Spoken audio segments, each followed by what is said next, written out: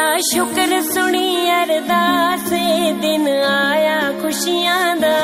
ਤੇਰਾ ਸ਼ੁਕਰ ਸੁਣੀ ਅਰਦਾਸ ਦਿਨ ਆਇਆ ਖੁਸ਼ੀਆਂ ਦਾ। ਸ਼੍ਰੀ ਅਖੰਡ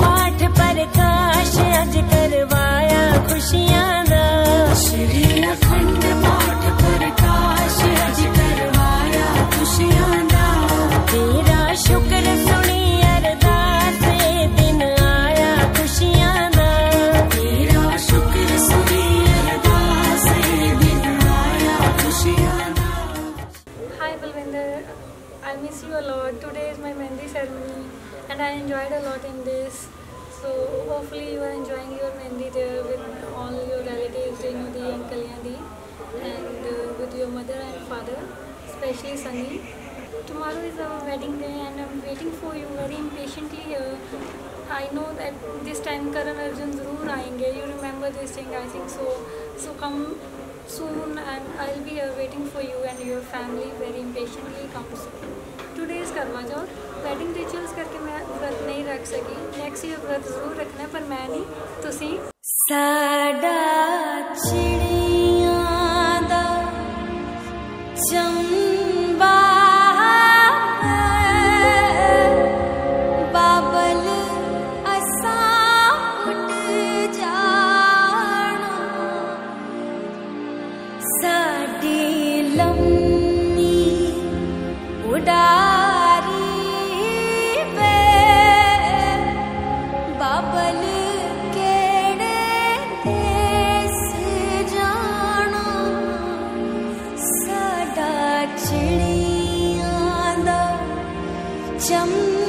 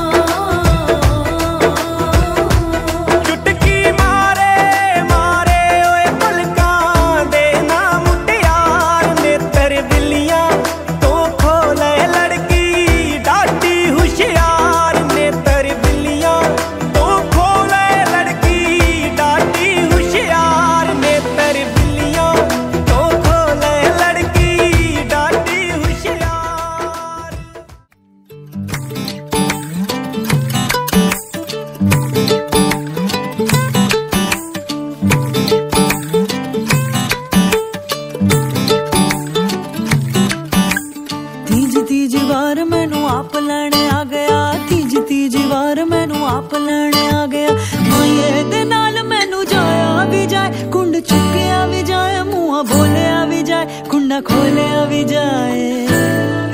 ਹਾਂ ਮਾਇਆ ਵੇ ਮਾਇਆ ਢੋਲ ਸਿਪਾਹੀਆਂ ਮੈਂ ਇਹਦੇ ਨਾਲ ਟੁਰ ਜਾਣਾ।